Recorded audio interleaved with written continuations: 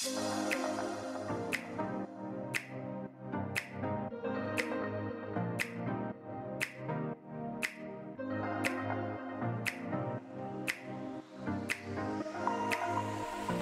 to the Feel Your Best Formula podcast. Are you over 40 and tired of struggling with your weight, dieting, and constantly feeling like you're starting over with nutrition and fitness? Do you wish you had more energy? Do you want to lose weight and finally keep it off for good? I'm Lil, a certified nutrition coach and former registered nurse. I too have been there, and at the age of 44, I decided I was done with fad diets and chasing a lower number on the scale. I was so tired of constantly starting over and wondering why I couldn't get lasting results. I became a nutrition coach and created the Feel Your Best formula for women who want to build muscle, lose fat, and keep it off for good. If you're ready to build a better relationship with food, the scale, and your body, let's build your formula for feeling your best. If you're new here, make sure to check the episode details for the link to my newbie starter guide. You'll receive an email straight to your inbox with everything you need to start building your Feel Your Best formula. I'm so glad you're here. Now let's dive into today's episode.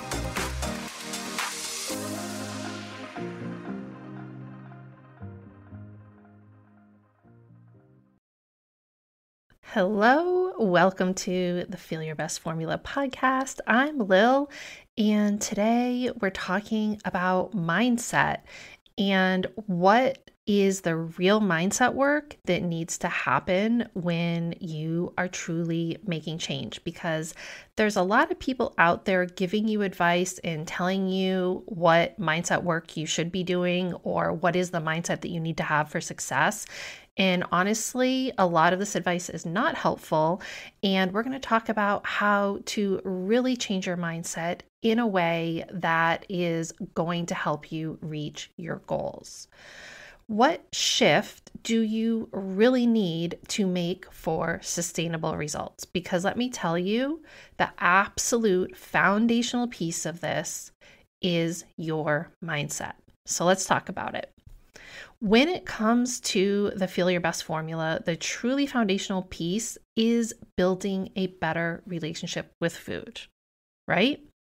Now, this is a little bit different than what you often see when it comes to diet and exercise advice or coaching, where you're just told, eat less, move more, here's your food plan, here's your workout plan, just do it. But if you're willing to take the time to build that foundation of a better relationship with food, it's going to put you light years ahead. It's going to make it so much easier to maintain your habits in weight loss when you finally stop fearing foods, stop avoiding foods, stop having an all in or all out mentality with food, and truly embrace balance and what that looks like for you. I will also say your relationship with the scale is very closely intermingled with this, and that is why I teach that as part of my process as well. And I'm going to be honest, the vast majority of my clients don't even start a fat loss phase until we've been working together for months.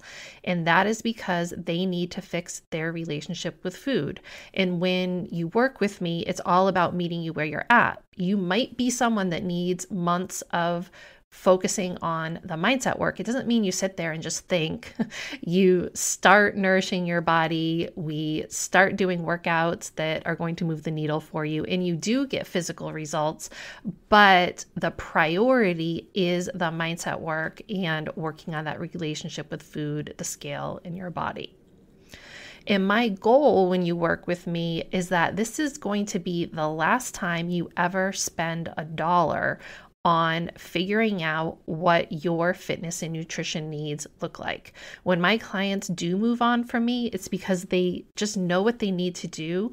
They feel like they're confident in what they're doing, they can do it on their own, and they know they're never going to be tempted by fad diets ever again. And every single person is different. Some people stay on even past that point just because they do want the extra accountability. And that's why I offer different levels of coaching to meet you where you're at. And most of my clients have done diet after diet after diet and always landed back in the same place, often gaining back more weight every time after they go through this diet cycle. And when they come to me, they're just so frustrated. And this is why we start with building a healthy relationship with food and that mindset work, because that's just key to getting to a place mentally and logistically where a fat loss phase is going to be successful and you're going to be able to maintain it. Most diets completely skip over this part of the process. And that's why the cycle of gaining and losing just com- continues on and on and on. And ultimately, it comes down to the mindset advice, the mindset work, and how that is addressed during this process of change. And if you do want to stop this vicious cycle, then you've got to have the patience to work on your mindset and relationship with food. And let's be honest, things have changed. The game has changed. There's a whole new form of fad dieting out there because now people are finding ways to take weight these weight loss medications like Ozempic or Wegovy or Mounjaro for purely aesthetic reasons. And they take these medications and they get quote results. I'm doing air quotes here because yes these drugs are going to suppress your appetite then you're going to eat less food. Remember it's all about energy balance calories in calories out. And they're going to lose weight but those results are not going to last once they come off the medications any more than any fad diet lasts once you stop doing the extreme diet plan okay and I want to make it clear I fully support the medical use of weight loss drugs in anyone who has metabolic syndrome, diabetes, or other health conditions that do require it. So I'm specifically talking about the people who take these drugs just to lose 10, 20, 30, or even 40 pounds. And in my view, the blame really goes on the healthcare professionals who are out there prescribing these drugs because a lot of people are desperate to lose weight and they're going to want to to do it. And it's up to the experts to really educate people on, you know, this probably isn't going to work for the long term unless you want to be on this drug for the rest of your life. And it's just going to be like any fad diet, where as soon as you stop doing it, the weight's going to come back on. I think the numbers right now, last time I looked, were something like 90% of people who go on these drugs gain the weight back um, within the first few months. So this is just another form of fad dieting. And for those of us who aren't interested in doing that or aren't willing to do that, we're watching all these people get really, really skinny. But I think that we're kind of on the front end of this thing and it's going to take some time. But I mean, we're already kind of seeing the fallout with it, with people having health conditions and complications from taking it or taking it incorrectly, which can lead to a lot of problems because if it's being prescribed by someone who isn't the most ethical person, they're also not probably going to do whole lot with education and support. Um, so I think we're kind of at the beginning, maybe middle of this fad. Um, not to say that it will go away completely, but I think we're going to start to see a lot of negative effects. And of course, we're going to start to see the people who stop taking it just gain the weight back, just like any other fad diet that's out there. And to be honest, a lot of people who you know, especially if you're just trying to lose 10 pounds, you would be a lot better served taking that energy and just trying to gain five pounds of muscle. And doing body recomposition isn't going to be that hard for you if you're just kind of chasing those last 10 pounds. So there really isn't a benefit of just losing weight rapidly from any form of fad dieting. And I felt like I had to include the medications because unfortunately, a lot of my clients are, you know, seeing that with their friends and you know people out in the world and they're doing the hard work and working on their mindset. And it's very interesting because they get it. They understand like that is not the way. And even though i'm seeing the weight melt off you know my best friend my sister my cousin whatever um, i can kind of foresee the future for them that it's just going to be like any fad diet. So a fad diet let's just be clear here. What is that? It's when you jump all in, you follow a restrictive, extreme plan. It's often overly complicated or has like a lot of rules just intended to get you to lose weight by eating less calories. And then you do it for a certain amount of time, whether it's 21 days, 30 days, 90 days, whatever. You ultimately get to a point where you hit a wall and you realize, I can't keep doing this. This is just like not sustainable for the life that I live. And you stop doing it. And then because you're not empowered with the correct information and plan, the vicious cycle just starts all over again. The all in or all out, the weight starts coming back on. And Unfortunately, we can't quit food. We can't quit food like you can quit cigarettes or alcohol or other substances. We need food to survive. It's just the way it works. We cannot go without food. And this is why the most important piece of successful long term fat loss is building that better relationship with food and mindset around food so that you can move forward in a way that is not a strain and stressful for you so that you can enjoy your day to day life and the food and the meals that you choose. And guess what? This is the harder work. Okay. And this is why I do require a 15 minute meeting with me with potential clients. We get on a Zoom call and we make sure that my method is right for you. And I have turned away potential clients because I can just see they just want to dive into weight loss and they're not ready to go through this process of building the better relationship with food. And if you are feeling anxious and frantic and desperate to lose weight, then you cannot approach the Feel Your Best formula process with the open mindset that's required to go through that transformation. The fact is, most weight loss solutions out there are preying on your desperation because when you're desperate, you'll agree to do just about anything. You're like, listen, I will stand on my head and um, dance the chicken dance if I can just lose these 20 pounds. And they're going to promise you results and they're going to let you skip over the hard work, right? and they're going to say, Oh, it's easy, just cut out these foods, do these workouts, just follow this plan, and you'll get results. And they'll pretend to help you with your mindset, but it is not the real mindset work that is required to actually create long term change. As I've said many times, I do things differently. Things like helping you face your fear of the scale, not jumping right into weight loss, learning to nourish your body, focusing on adding in instead of restricting. And I also have you include your favorite foods right from the start, which is totally different from how 99% of weight loss and diet plans approach things. Fad diets skip over the real mindset work, and you'll often hear things like this if you want it bad enough, you'll do whatever it takes. You can have excuses or results, but you can't have both. We all have the same 24 hours in the day if it isn't hard, it's not worth doing. So, you get what I'm saying? Like, in this vein of things where they're trying to tell you, like, this is your mindset shift that you need to make. You need to realize that you can't have excuses and things like that. And it's really false mindset work because it's not really you changing your mindset.